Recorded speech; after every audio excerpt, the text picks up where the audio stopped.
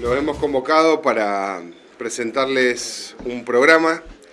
que hemos estado trabajando con el sector de la fruta de la provincia. Eh, después de la temporada que hemos tenido, ayer empezó la mesa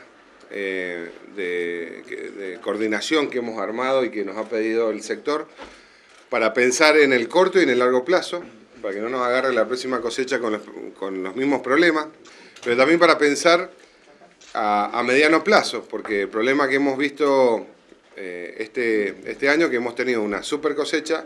y que eso nos causó una crisis más que una alegría en algunos casos, hay un nivel de, de competitividad muy bajo que hemos empezado a atacar en esa mesa y que la hemos empezado a atacar, pero mientras la discutimos, ponemos herramientas arriba de la mesa para que los productores pequeños, medianos y grandes tengan la posibilidad de,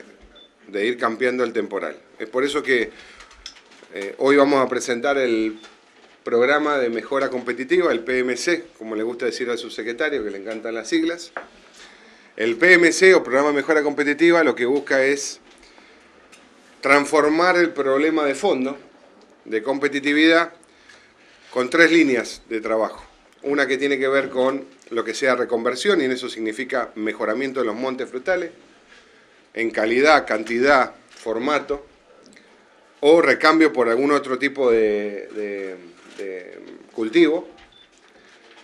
eso va a tener una línea de trabajo. La segunda línea va a ser la mecanización individual, que le va a permitir darle más rentabilidad al productor pequeño, como puede ser el, caso de las cosechadoras vibradoras manuales, que le van a bajar el costo y le van a permitir aumentar el rendimiento de la cosecha. Y una tercera línea que va a ser la mecanización asociativa, que es para aquellos grupos donde se reúnen varios minifundistas, más hasta eh, por lo menos 30 hectáreas,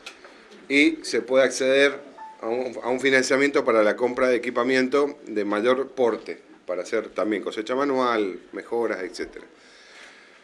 Lo bueno de, esta, de estas líneas, que son líneas eh, muy flexibles y muy buenas para, para la situación actual del sector, son a tasa cero por siete años, eh, con dos años, de dos a tres años de gracia.